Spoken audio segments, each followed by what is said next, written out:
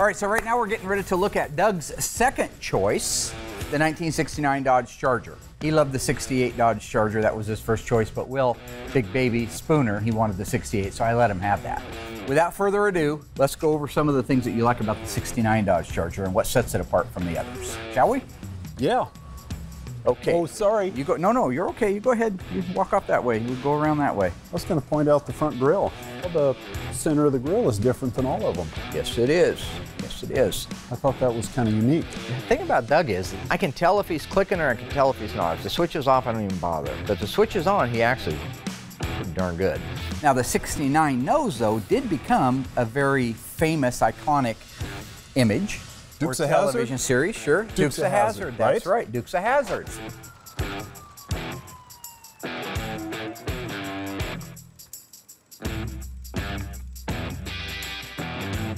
What are the other things that jump out about you different between this and the other two models that surround it, the 68 and the 70? The side lights? the side lights. 69 is, is unique by itself. This actually does not have a park lamp in it. Just a reflector. So in 69, it was just a reflector. It actually wasn't a side marker light, which is weird because in 68, it was round and it mm-hmm. was located up higher, higher right on the style line. But it would actually illuminate. And the 70 Yeah. would also illuminate. But this particular one was just a reflector. Now this is a special edition. So what is the SE going to tell us on this particular car? What would it have guaranteed that a non-SE wouldn't have? It's very similar Leather to your interior? very similar to your Grand Coupe. That's right. Yeah. It also gets the wood grain dash panel. Oh, yeah. So the wood grain dash panel was standard on the SEs, and it was the only way you could get it in 69. The owner of the 69 Chargers had it a long time. I think that he's going to have a lot of fun when it's done, and I think he's going to have a family heirloom that he can pass down to his kids. So what do you think of them taillights? Talk to me. You prefer the 68?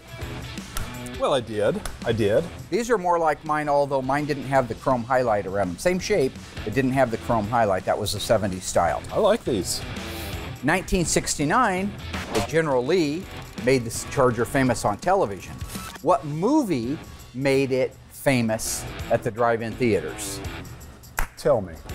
Dirty Mary Oh, and Psycho Larry.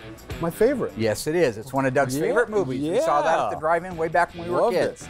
So that car was a 69 Charger, assumably or presumably, whichever one it is, an RT because it had RT badging on it. But on the back quarter, right here, an RT would normally have a big badge that would say RT, or this would be a Bumblebee and it would be cut out in the Bumblebee and say RT. That one had neither. It had 440 written in it with that arrow-shaped stripe down the side. It's pretty. So that's why I always wondered if that was a real RT or not. It also probably, when it started life, was a vinyl top car, but they didn't think that was very sexy, so they painted the top the same color as the body. But if you look carefully at the pictures, you'll see that that car has these moldings on it. They wouldn't have put those moldings on. It'd been like our 68 Charger. Wouldn't have uh-huh. been a molding there if it Yep. wasn't a vinyl top car.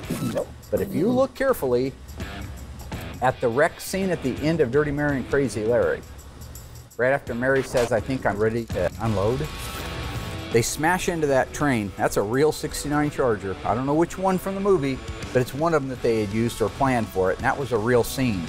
And if you look carefully, you'll see that's a real hit. Watch the secondary damage go throughout the entire car, all the way through to the back window and around. That, that hit in the front is an example of how a unibody will transfer damage where a subframe car won't. Okay? It's because it's all one piece. So it lives together, it dies together, it wrecks together, it spreads together. That's just the way it is. From 1968 to 1970, did all Chargers, regardless of the model and engine, get a flip-top gas cap? Sure. Yes, that's correct. Very nice. Were there any other cars that got the flip-top gas cap in 1969? Barracuda? Yeah. Oh, Dougie coming out of coming out of the gates a little slow, but gaining speed now. Oh, one thing I do want to talk about before we The peel out of here. L51s? The L31s. What I'd like to know is why are you doing this with that? Doing what with what? Thank you for asking. This, it's everywhere now. It's like where's Waldo? I did that? Careful, don't break my hand.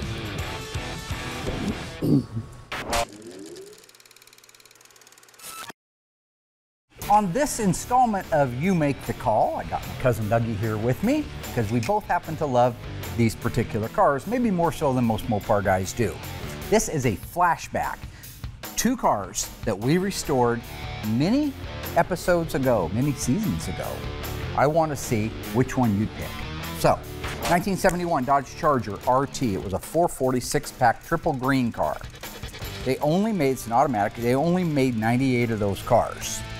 Good looking car in EF7 Sherwood or dark green in the Dodge lineup. The other car, the 1972 Dodge Charger. Here's the hook on this one. Doug loves the oddball stuff. This car's an oddball. This car had every option that a real A57 Charger Rallye would have had in 72, but it wasn't a Charger Rallye. It was a 318. The gentleman, Mr. Walton, who bought the car brand new, wanted all the performance package stuff without the gas guzzling engine because he wanted to take his kids across country with the little trailer in tow and see the United States.